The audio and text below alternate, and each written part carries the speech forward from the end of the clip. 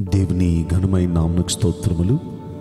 ఈ వాగ్దానం వింటున్న మీకందరికీ మన ప్రభును ప్రియరక్షకుడైన యేసుక్రీస్తు నామములో శుభములు.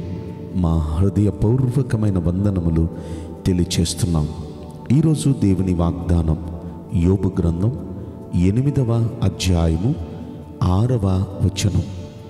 నిశ్చయముగా ఆయన నీ యందు శ్రద్ధ నిలిపి నీ నీతికి తగినట్లుగా నీ నివాస స్థలమును వర్ధిల్ల చేయును విన్న ఈ వాగ్దానం మనందరి వెనుకడిలో మంచి దేవుడు నెరవేర్చునుగాక. ఆమెన్. ఈ వాగ్దానాన్ని మనం పరిశీలిస్తే నిశ్చయముగా ఆయన నీ అందు శ్రద్ధ నిలిపి ప్రియ దైవ జనాంగమా ఈ వాగ్దానం వింటున్న మనందరి పట్ల మంచి దేవుడు నిశ్చయముగా శ్రద్ధ నిలపబోతున్నాడు. నిశ్చయంగా అంటే ఖచ్చితంగా ఖచ్చితంగా వాగ్దానం వింటున్న మీ అందరి మీద ఆయన శ్రద్ధ నిలపబోతున్నాడు. దేవుడు శ్రద్ధ నిలిపితే మన పరిస్థితి ఎలా ఉంటుందో చెప్పనా? ఆ తర్వాత అంటాడు నీ నీతికి తగినట్లుగా నీ నివాస స్థలాన్ని ఆయన వర్ధల్లో చేస్తాడు ఆయన శ్రద్ధ నిలిపితే మన పరిస్థితి ఎలా ఉంటుందంటే అప్పుడు నీ స్థితి మొదటగా కొద్దిగా ఉండినను నీవు మహాభివృద్ధి పొందుతావు. దేవుడు మన మీద శ్రద్ధ నిలిపితే మన స్థితి కొద్దిగా ఉన్న మహాభివృద్ధిలోకి వచ్చేస్తాం మనం. మన నీతికి తగినట్లుగా మన నివాస స్థలాన్ని వర్ధిల్ల చేస్తాడు. ఆయన మన మీద శ్రద్ధ నిలపాలంటే మనం ఏం చేయాలి? ఆ పై వచనాలు ఐదో వచనం ఆరో వచనం మనం చూస్తే అక్కడ అంటున్నాడు నీవు జాగ్రత్తగా దేవుని వెదకినే ఎడల. అంటే భక్తి చేసే మనం జాగ్రత్తగా భక్తి చేయటం ఆరంభించాలి. ఏదో వెళ్తున్నాం గుడికి ఏదో వస్తున్నాం అన్నట్లు కాకుండా ఏదో ప్రార్థన చేస్తున్నాం అన్నట్లుగా కాకుండా గుడికి వచ్చేటప్పుడు శ్రద్ధగా పెందలకాడి దేవుని సన్నిధికి వచ్చేయాలి వచ్చిన మనం గుళ్ళో కూర్చొని శ్రద్ధగా పాటలు పాడుతూ శ్రద్ధగా ఆయన వాక్యాన్ని విని శ్రద్ధగా సన్నిధిలో ప్రార్థన చేసుకొని మనం ఇంటికి రావాలి.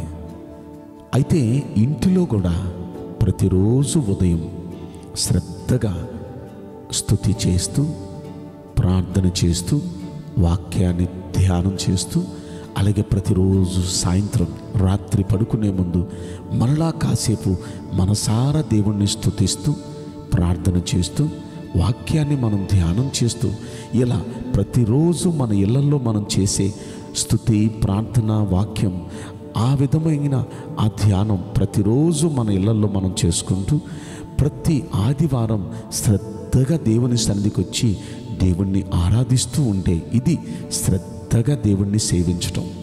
అదే ఇక్కడ అంటున్నాడు నీవు జాగ్రత్తగా దేవుని వెదకిన ఎడల అంటే దాని అర్థం మనం జాగ్రత్తగా దేవుని భక్తి చేస్తే ఆ తర్వాత అంటున్నాడు సర్వశక్తులకు దేవుని బతిమాలు కొనిన ఎడల. దేవుణ్ణి మనం బతిమాలుకోవాలి. దయచేసి అయ్యా నా ఎందుకు కనికరించయ్యా. దయచేసి నా బిడ్డల ఎందుకు కనికరించయ్యా. అంటూ ఆయన్ని మనం బతిమాలుకోవాలి. గొప్ప గొప్ప భక్తులు కూడా అబ్రహాం అంటున్నాడు. నేను ధూళి లాంటి వాడినయ్యా నేను బూడిద లాంటి వాడినయ్యా నీతో మాట్లాడటానికి నేను సరిపోనయ్యా. తను తను అలా తగ్గించుకుంటున్నాడు. గొప్ప భక్తుడైన యోబు అంటున్నాడు నేను నీచుడనయ్యా. చిత్తగించుమయ్యా. నేను నీచుడనయ్యా. నీకు ప్రత్యుత్తరం ఇవ్వటానికి నేను సరిపోనయ్యా. నా నోటి మీద నా చేతులు ఉంచుకుంటాను అంటూ భయపడుతున్నాడు. దేవుని ముందు ఇంత గొప్ప భక్తులైన యోబు ఇంత గొప్ప భక్తుడైన అబ్రహాము అబ్రహామును నా స్నేహితుడు అన్నాడు. యోబును గురించి మాట్లాడుతూ భూమి మీద ఉన్న భక్తులందరిలో యోబే గొప్పవాడు అన్నాడు. ఇంతగా దేవుని మెప్పు పొందిన భక్తులు దేవుని సన్నిధికి వెళ్ళినప్పుడు ఎంతగా తగ్గించుకొని ఆయన బతిమాలుకుంటూ ప్రార్థన చేస్తున్నారు. మనం వారికంటే చాలా అల్పులము. మనం మరి ఎక్కువగా బతిమాలుకోవాలి. మొదటిగా దేవుణ్ణి శ్రద్ధగా వెతకాలి. అంటే శ్రద్ధగా భక్తి చేయాలి. రెండవది ఆయన్ని బతిమాలుకుంటూ ప్రార్థన చేయాలి. మూడవది పవిత్రులుగా ఉండాలి మనం. ఏది పడితే అది చేసేవారిగా ఉండకూడదు.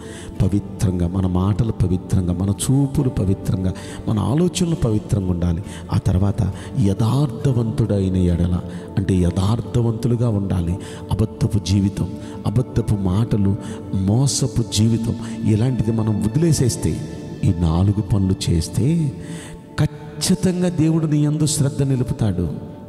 అప్పటి వరకు మన స్థితి కొద్దిగా ఉన్న మహాభివృద్ధిలోకి వచ్చేస్తాం.